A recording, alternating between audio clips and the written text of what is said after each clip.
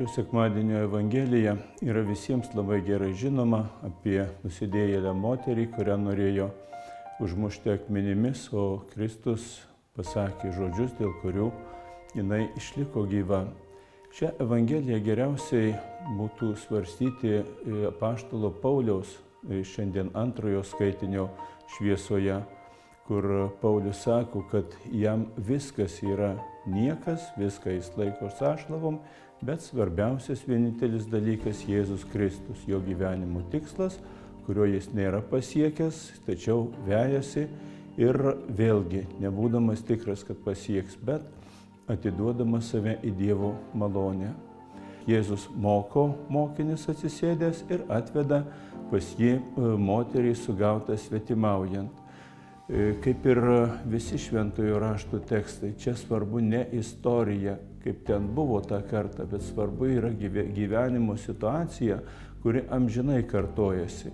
Ir galbūt todėl e, tame pasakojime nėra paminėtas nei vienas vardas. Ta moteris ir visi žmonės yra be vardų, tuščios lentelės. Todėl ten galim įrašyti arba savo vardą, bet kuriam veikėjui, arba kažkieno kito vardą, ministro kokio, savo klebono, giminaičio, kad tik nors kiekvienas mes atsidurėm panašioj situacijoje gyvenime. Ir kiekvienas mūsų e, tą situaciją išsprendžiam žmogaus ir Dievo akivaizdoj, nuodėmės ir dorybės akivaizdoj, e, teisumo ir malonės akivaizdoj. Taigi e, nuodėmė atveda į mirtį. Ta Dievas paskelbė pirmiesiems žmonėms nuo pat, nuo pat pradžių, jeigu jūs nusidėsite, jūs mirsite. Paskui buvo kartojama daugybė dalykų, ši, daugybę kartų. Šitą žmonės išmoko labai gerai. O ta, bet kiekvienas tikisi, kad jis gali daryti, ką nori, bet gal nenumirs. Ir ta moteris taip tikėjosi, bet ją sugavo ir jinai savo, e, savo visą esybę pajauti, kad ją veda į mirtį. Atvedė pas Jėzų. E, visi ant jos reikia, visi ją keikia, visi jai grumoja. Gal Jėzus pasigailės, jis dar nieko blogo apie ją nepasakė. Jėzus jai vienintelė viltis. Tačiau ir atėjusi pas Jėzų, ji buvo išgelbėta. Tokia yra gyvenimo logika, kokia gyvenimo teisybė. Dievas vis dėlto yra nežudantis Dievas, o gaivinantis Dievas, gyvybę teikiantis. Ir ta moteris, kol buvo žmonių rankose, ji buvo vedama į mirtį. Atėjo pas Jėzų ne savo noru, atvijo ją pas Jėzų, pati galbūt iš viso nejus, bet atėjo pas Jėzų ir jos buvo pasigailėta, liko gyva ir buvo pasakyta, nenusidėk daugiau, kad neužsitrauktų mirties. Taigi, nuodėmė tikrai veda į mirtį, Dievas tikrai yra išsigelbėjimas.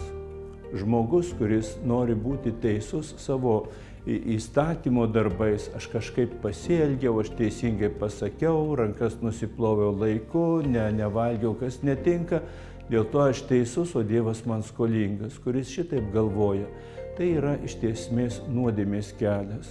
Dieviškas, dieviška mintis yra malonės mintis ir todėl žmogus ateina ne savo atlygio pasimti, bet viešpaties dovanos, prašydamas jo. Ir tai suvienyje ir su viešpačiu, ir su Dievu. Tie žmonės visi, kurie atvedė tą moterį, jie irgi atsirado prie Jėzaus. Tačiau neatėjo susivienyti su juo, o norėjo jį įtraukti į savo nuodėmę, išpešti iš jo, kad taip jūs tą moterį užmuškite. Tada tu būsi kartu su mumis, būsi toks kaip aš ir todėl mes tave atmesim ir pasakysim, tu nusidėjėlis kaip ir mes, mes tavęs tada neklausysim ir atmetam. Ir e, todėl šitas jų ateimas su viešpačiu jų nesuvienijo ir kai Jėzus pasakė tuos gailestingumo žodžius, visi po vieną išsiskirsti niekas nepasiliko su Jėzumi. Jiems sutrukdė nužudyti, tegu šventais motyvais jie norėjo nužudyti, bet sutrukdė nužudyti, tada jie nusisuko nuo Jėzaus ir nuėjo. Niekas nepaklausė, kodėl šitai pasakėjai, pagal ko, kokią logiką išgelbėjai, kodėl pasigailėjai. Jėzus būtų pasakęs, kodėl pasigailėjęs, nes šalia to ką Dievas pasakė, kad nuodėmė veda į mirtį, jis yra pasakęs, aš Dievas nenoriu mirties, bet kad nusidėjėlis mirtų. Noriu, kad jis atsiverstų ir gyventų. Ir mes nusidedam, ir mes nuodėmiai liekam vieni. Ir mes esame kviečiami parodyti gailestingumą. O svarbiausia, kad mes eitume pas Jėzų, kad būtume išgelbėti su visais nusidėjėliais. Amen.